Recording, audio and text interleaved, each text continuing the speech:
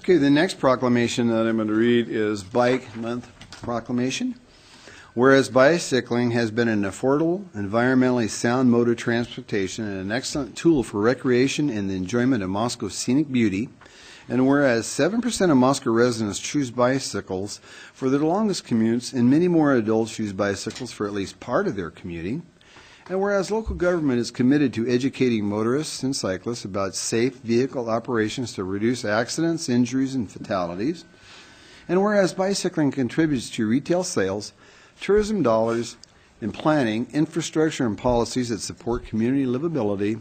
and whereas bicycling reduces heart disease, obesity, diabetes, and hypertension, and improves mental health and cardiovascular fitness, and whereas Moscow supports the objectives of Let's Move,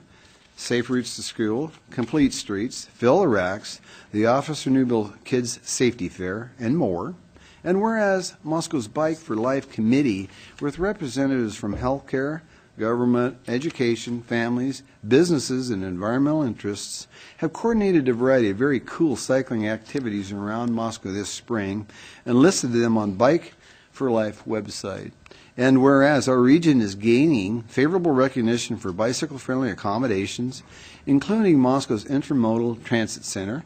more convenient and functional bike racks, a growing network of bicycle pedestrian trails, including the new Moscow Greenway. And whereas National Bike Month began in May of 1956.